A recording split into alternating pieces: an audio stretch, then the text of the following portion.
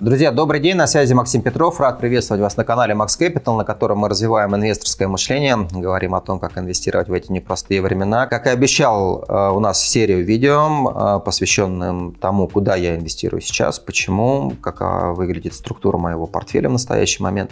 Вот в этом видео мы поговорили про доллары, поделился, почему я сейчас полностью отказался от безналичной формы. В сегодняшнем видео хотелось поговорить про недвижимость, потому что в этом же видео, про которое я упомянул, говорил говорил, что у меня доллары зарезервированы для покупки недвижимости. Недвижимости за рубежом, да, потому что в России есть отдельная история, связанная с тем, что в России, да, недвижимость выросла, вопросов нет, никто не спорит. По-прежнему я остаюсь при своей точке зрения, что недвижимость в России упадет. Но я смотрю для себя более глобально, да, то есть э, недвижимость для меня интересна с целью, а, первое, получать валютную доходность, да, то есть иметь диверсификацию по странам. И поэтому я хочу, чтобы у меня был какой-то определенный объект в собственности, который бы приносил арендную доходность. Это первая история. То есть некий, некая валютная диверсификация, диверсификация по странам. Второе, недвижимость дает возможность получения гражданства что бы там ни говорили, второго гражданства. То есть не обязательно, что я сменю гражданство, но то, что такая возможность есть, я считаю, что в эти непростые времена хорошая история. Та реальность, в которой мы жили последние 30 лет, когда мировые центральные банки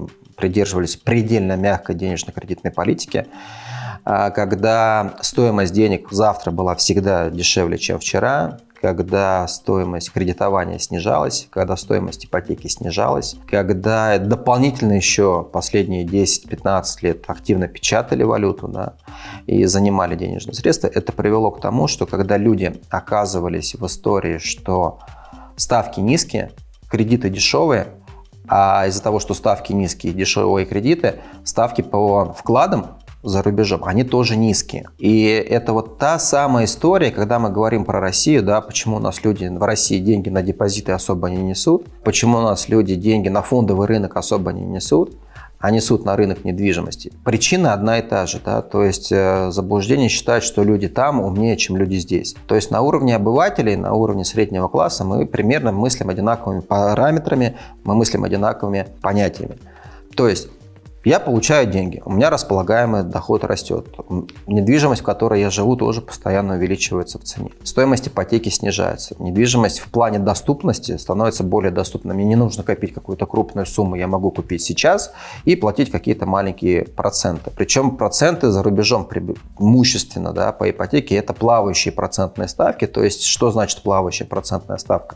Что ставка по ипотеке привязана к ставке Центрального банка, плюс какой-то интерес банка, да, который выдает этот кредит. И поэтому, когда у вас вы живете в парадигме, что у вас деньги там в Соединенных Штатах Америки с 80-х годов, стоимость денег с 22% упала там до 0,5%, то мы понимаем, что если вы брали ипотеку с плавающей процентной ставкой, да, ну, по 20%, может быть, там никто особо-то и не брал ипотеку, но когда ставки были там на уровне уже 7-8%, как в России наблюдается, вот смоделируем ситуацию, вам приходит и Сбербанк завтра говорит, слушай, вот ставка Центрального банка 7%, мы тебе выдаем кредит под ставку Центрального банка плюс 2,5%. И вы понимаете, что ну, предыдущие там, несколько лет ставка преимущественно снижалась. Да? То есть когда целое поколение людей в Европе выросло в одной простой парадигме. Стоимость денег завтра все равно дешевле, чем вчера. Да, бывают кризисы, да, краткосрочно бывает рост процентных ставок, но потом все равно снижается и снижается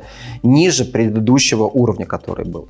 И поэтому люди это выбирали. К чему в итоге это привело? К значительному росту спроса. То, как я уже неоднократно говорил, можете прочитать Шиллера и рациональный оптимизм, как он показывает, работает вот эта вот петля положительной обратной связи, подтверждения. Я купил дом за 50 тысяч долларов, да, соответственно, взял его в ипотеку, ипотека была 7%, ставка рефинансирования плюс 2%. Через 5 лет у меня эта недвижимость выросла до 100 тысяч долларов, да, я эту ипотеку полностью закрыл, потому что у меня доходы увеличились. Мне сказали, мы тебе дадим еще денег, но уже дадим не под 7% плюс 2, а дадим под 5% плюс полтора. Соответственно, я взял, купил еще недвижимости на 100 тысяч долларов, у меня уже два объекта недвижимости. Еще через 5 лет вся эта недвижимость выросла там до 200 тысяч долларов. Да? При этом ипотечная ставка снизилась уже до 2,5 плюс с полтора, там 3,5%. И недвижимость, соответственно, выросла, стоит уже там 400-500 тысяч долларов. Да? И эта петля позитивного подтверждения обратной связи привела к тому, что рынок очень сильно вырос.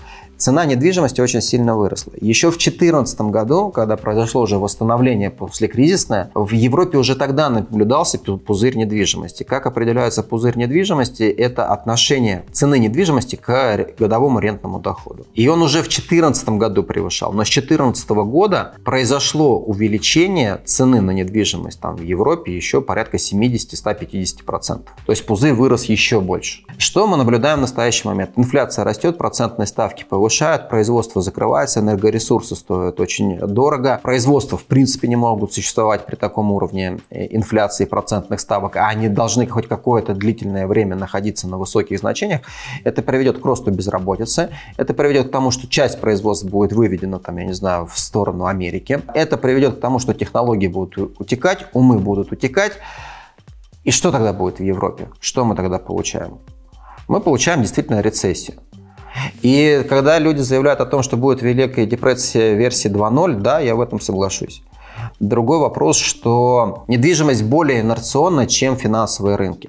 То есть, если акции там могут в моменте за один день упасть там, на 10%, за месяц могут упасть на 30%, за полгода могут упасть на 50-70%. В недвижимости такого нету, да, потому что недвижимость, она связана с регистрацией титула права собственности, она связана, если мы говорим про изъятие, его нужно пройти судебную процедуру, чтобы эту недвижимость изъять банку, потом нужно пройти процедуру банку, чтобы выставить эту недвижимость на торги, потом согласовать эту цену на торгов, будут там участники торгов, не будут участники торгов. То есть это некий временной лак, и временной лак после того, когда начинаются основные проблемы в экономике, составляет где-то порядка полутора-двух лет. У меня, у самого есть товарищ Дмитрий, мы с ним еще в Воронеже познакомились, когда я жил. Тогда, в 2012 году, человек купил виллу на Средиземноморском побережье Испании – Соответственно, он купил эту виллу порядка, ну, я точно не помню, знаю, что цифры были в районе 60-70 тысяч евро за виллу.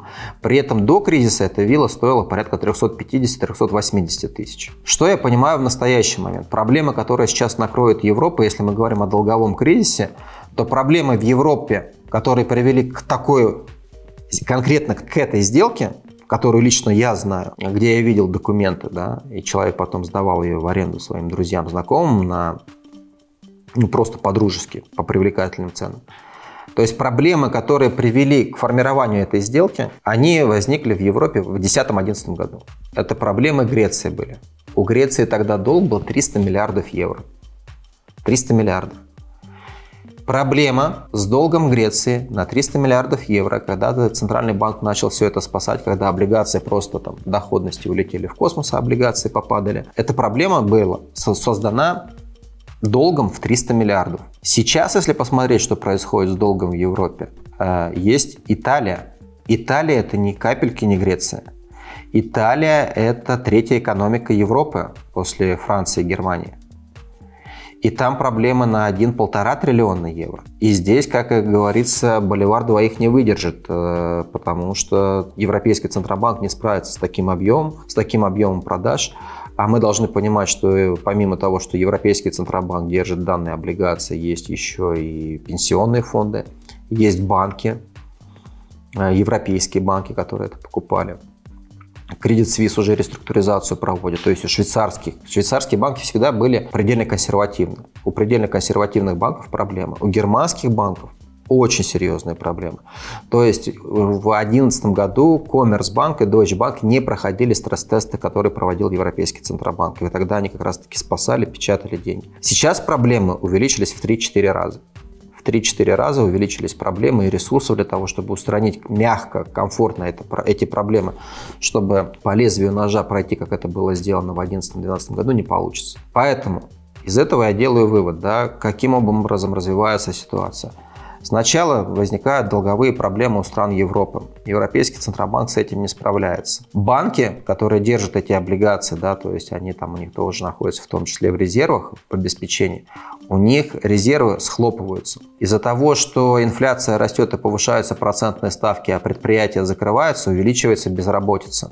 Когда увеличивается безработица, соответственно, люди остаются без работы. А при выросших ценах на продукты питания, на бытовую технику, ну, на просто на, на текущее потребление бытовое, нужно где-то деньги брать. Работу устроиться вы не можете. Эмигрировать особо вы не можете, потому что вы не обладаете какой-то высокой квалификацией. Где деньги брать? Но первым делом вы, конечно, побежите, если у вас есть какая-то подушка безопасности на банковском депозите, вы будете закрывать банковский депозит. Вы начнете забирать деньги у банков. Собирая деньги у банков, вы начинаете у них э, забирать пассивы. То есть вы начинаете забирать у них ликвидность, то, что им необходимо. А банки уже выдали кредиты 5 лет назад, 10 лет назад. Они выдали ипотечные кредиты. Соответственно, они не смогут удовлетворить выросший спрос на наличность, которая возникнет со стороны населения. И тогда они будут распродавать активы, которыми владеют акции, те же самые, облигации, но этого будет недостаточно, потому что это приводит к еще большим проблемам. Потому что единственное спасение тогда это Европейскому Центробанку еще напечатать денег. Это еще более высокая инфляция. Более высокая инфляция – это еще большее падение производства, это еще большее падение покупательской активности. То есть начинается вот этот вот, как, как снежный комнат, соответственно, начинает нарастать. Что следующее делают? Простые обыватели. Недвижимости, конечно же, они будут держаться. При этом нужно понимать, что коммуналка же выросла на, на обслуживание этой недвижимости. Идет второй шаг. Что делают вторым шагом? Продают акции, которые до этого уже банки так уже существенно распродали с большими убытками, начинают закрывать э, инвестиционные программы накопительное страхование жизни, потому что там это очень сильно развито. Люди говорят, ну блин, я вот тут 15-20 лет копил, да, то есть у меня выкупная сумма уже приличная. Люди начинают закрывать свои страховые программы, обращаются в страховые компании, а страховые программы в чем размещали все страховые резервы? Недвижимость и облигации. То есть начинают страховые продавать недвижимость, и они начинают продавать облигации. Опять оказывает давление на облигации. И тогда что? Тогда получается, что, понимаете, люди будут делать все в самый последний момент. Если они побегут за деньгами в банке, банки будут продавать облигации и акции. Облигации и акции уже рухнут в цене. Люди, соответственно, делают второй шаг, они начинают забирать деньги из страховых накопительных программ, они бегут в страховые, страховые еще больше давление оказывают на облигации и недвижимость, да, то есть их недвижимость начинает падать в цене. И достигает таких значений, что человек начинает выплачивать ипотеку, и он понимает, что у него размер ипотеки, которую он выплачивает, или незакрытый размер ипотеки, уже больше, чем его стоимость недвижимости. И они, соответственно, будут продавать. Ну и третье последствие, да, последствия третьего порядка, если уж так развивать мысль. Что мы будем наблюдать? Мы будем наблюдать, что ну, кто-то будет просто продавать недвижимость, если их несколько объектов недвижимости у кого было. В первую очередь какая-то курортная, дачная недвижимость, да, то есть а, заканчивая тем, что банки будут изымать. Ну, когда человек безработный, а у него нет ни депозита, ни накопительной страховой программы, у него есть только жилье свое собственное. Но он будет ее продавать в надежде, что он снимет в аренду, да, будет арендовать, по крайней мере, что-то попроще. И это по всему рынку происходит. И это вал. А из-за того, что левериджа много, из-за того, что кредита много, из-за того, что экономика закредитована очень сильно, падение будет достаточно глубокое. Просто еще раз к тому, о чем я говорил в самом начале. Недвижимость, она более инерционна. Опять же, возвращаясь к видео, для чего я нахожусь в кэше, для, почему я нахожусь в долларовом кэше. Потому что, когда вы в такой ситуации оказываетесь, и у вас есть кэш, вы можете получить хорошую скидку к и так уже очень сильно упавшей цене. Поэтому все достаточно просто. Схема 5 к 1. То есть э, я понимаю, что люди которые сейчас покупают недвижимость в Арабских Эмиратах, в Турции, какие-то апартаменты там за 150 тысяч долларов, 250 тысяч долларов.